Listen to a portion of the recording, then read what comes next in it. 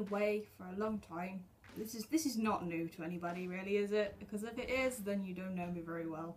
The last vlog update I think I did was back in January.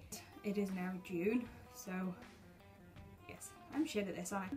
Basically, the last time I spoke to you, I was preparing to go abroad for my EL placement for university, and I have now been and gone, and I've returned back from China. But I'm going to try and keep this short and sweet. I can't guarantee it will stay that way for very long. Um, first of all, I'm going to mention China, because that has been the big thing that's happened. Uh, what I've been up to recently, what I'm hoping to be up to within the future, hopefully, maybe, I don't know.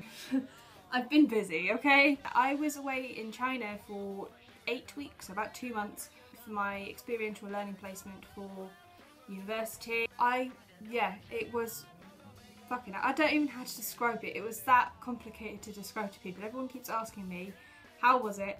And I can't describe to them quite in a fluent sentence how it was. And the only two words I keep saying was scary and different because it's it was a culture shock and I'd been there for a long time and yeah, it's hard to put into words what happened. And there's some ups and downs, like with any sort of situation. Remaining optimistic, I'm going to point out sort of three sort of big trips that we went on whilst we were away. Obviously, we were there for sort of uni purposes, but we did have a bit of free time on our hands.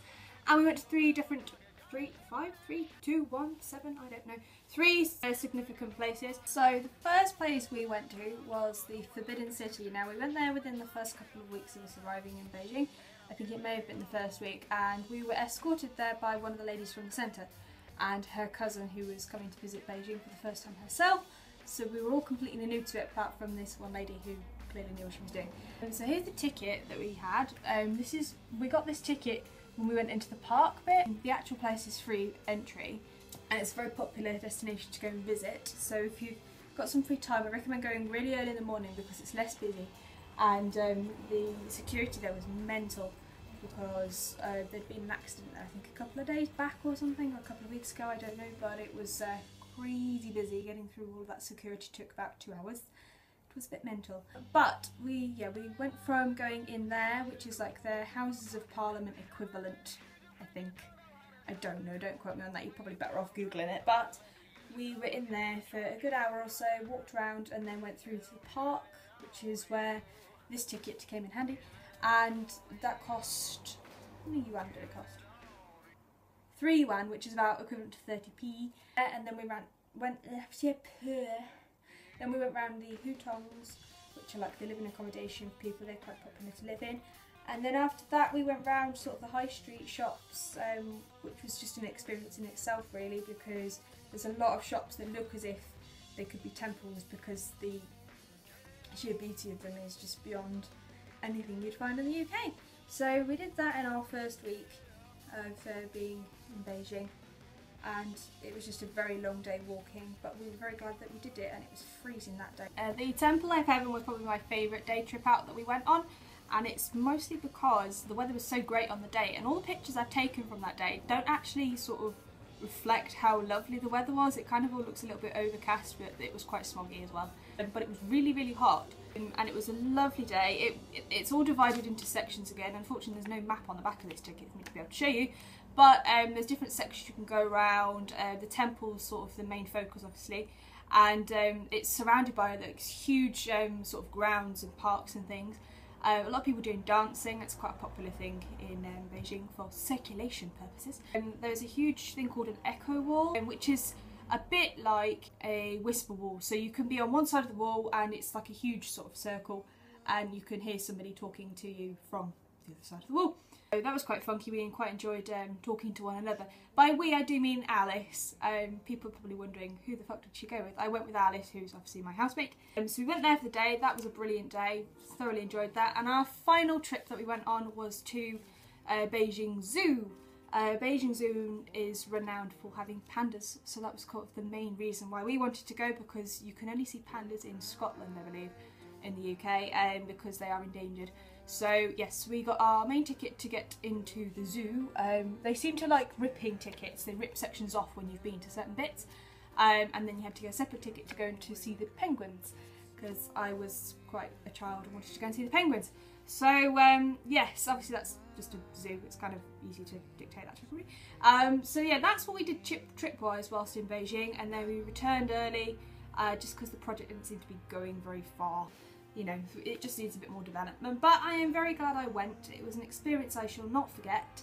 TV series wise, I have been caught up on quite a few bits and bobs. I think the last thing I told you about, I'd been I'd watched all of Breaking Bad and all of Dexter. I have now moved on. I am um, on to Game of Thrones, which I am thoroughly enjoying, and I'm ever so glad that I decided to start watching it because I'm now a little bit addicted to it, and I'm incredibly sad that series four is about to end because it is just superb, and I'm trying to get Andy to watch it. Andy is my boyfriend. Yeah, you might know that. But um, you know, I've been watching that and it's just brilliant, and I, I thoroughly enjoy the aspect of that you can sort of love one character one week and then hate them the following week. So it's always sort of fresh and new, and I've been told it's very different to the books in certain aspects, but I don't care. It's good, and um, I thoroughly enjoy it. And Tyrion Lannister is my favourite character by far, as I think it's quite a few people's favourite character in that particular series. So can't go wrong with that. I've also started watching The Walking Dead. I'm probably really far behind on all of these things because these things have been out for a while, but I just sort of, I'm always late with these things. I jump on the bandwagon a bit later than everyone else. Um, I've started watching that because Andy likes it mostly.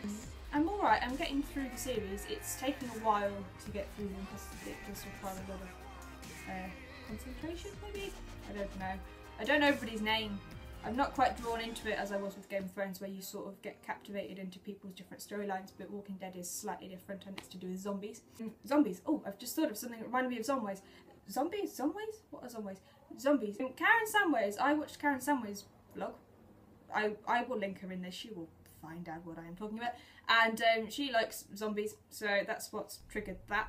And I watched her recent vlog that she did, vlog 20, I can't remember what it's called now off the top of my head, which features Brett Underwood and Karen Samways and Hannah Padley. So I did watch that and thoroughly enjoyed that. So I will link her channel down below. You should go and check her out because she actually does some quite decent stuff, um, including Mrs. Pettigrew.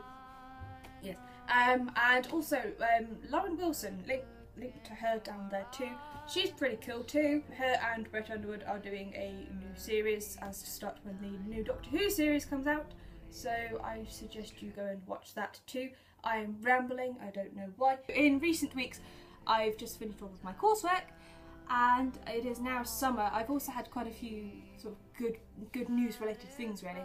I've just got a new job so I'm over the moon about starting that. I'm incredibly nervous but really excited. I've thoroughly enjoyed my training there and getting used to it and I get a free gym membership and a complimentary one for a friend which I have given to my mother as a bit of a treat because um, she wants to start getting fit and healthy again. I was at a wedding last week, so um, I was all dolled up and ready for that, and I was um, a plus one. I've never been a plus one before, I felt quite privileged. And then we were down in Coventry for the weekend, myself and Andy were down for uh, my grand's 70th birthday thing. She had a huge party and my uncle had to be Cliff Richard because my gran has a weird obsession with Cliff Richard. Says the girl who's got David Tennant on her wall. I don't know. Don't know where she gets it from. So that's what I've been up to. I've had a lot going on, and I do feel really bad that I haven't filmed anything. I did try and film some stuff whilst in China, but filming it was a bit of a hassle just because I didn't have the time um, to really sort of fix and edit it together. But if I can try and include some photos, you can see what I've been doing out there. Um, I was hoping to do a video with uh, with Brett Underwood, as it were, a couple of weeks back, but unfortunately due to this, that and the other stuff that was going on. Um, we couldn't do anything about it, so that's a shame, but I will give him a shout out as compensation, maybe? Is that the word I wanted? Yes. A little bit of a side note about Rick Mayall. I feel quite disappointed that he passed away. He is somebody that I've admired for quite a long time, and it's mostly down to my mother's influence actually, because if it weren't for her, I would not watch The Young Ones or Bottom, or have seen Drop Dead Fred, uh, he was also in a rendition of Jesus Christ Superstar. Who knew? He, is, he was a very funny man, and it's a shame that he has left the world, but he has left quite an impression. Anyway, I'm gonna go because I am rambling now. I will speak to you as and when I can, and love and peace to you all as always. I will speak to you very soon, and goodbye.